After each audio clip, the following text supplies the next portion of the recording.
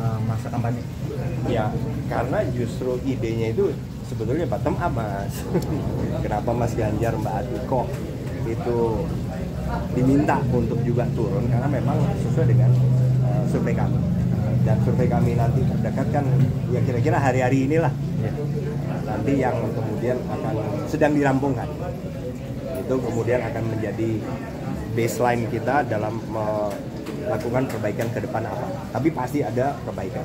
Nah, Mas Alam sama Bu Siti Atiko ini kan menyerap aspirasi juga ya Pak ya? ya. Nah, ini apakah disampaikan juga kepada Pak Ganjar atau uh, mereka tampung dulu atau sistemnya seperti apa sampai saat ini sejauh ini?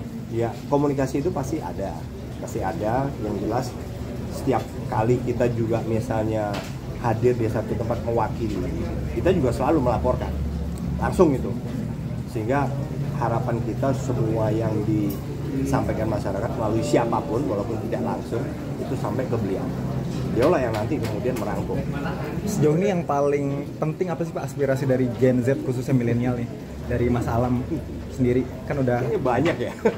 Satu yang paling penting itu Pak mungkin. Ya salah satunya lapangan pekerjaan. Ya, ya. intinya apa realita kehidupan mereka. Itu yang paling penting dan menyangkut langsung hidup mereka. Itu yang kayaknya paling menonjol ya. Pak Andika izin mau konfirmasi uh, kemarin beredar bahwa Pak Pri, uh, Pak Hendro Priyono ini masuk ke dalam jajaran TPN Ganjar Mahfud. Apakah itu benar Pak struktur masuk TPN struktur TPN Iya, saya komunikasi itu kan dilakukan oleh Mas Arsad ya waktu itu ketemu. Jadi saya juga tidak tahu sampai di mana perkembangannya. Hmm, kapan itu pertemuannya Pak dengan Udah Pak lama. Ya ini kan udah lama sekali, Mbak. Oh berarti itu pertemuan untuk mengajak gitu ya Pak? Kemungkinan waktu itu ya. Mungkin tiga minggu atau sebulan yang lalu. Nanti Mas Arsad ditanya ya. Oke, siap. Terima kasih banyak Pak Andika.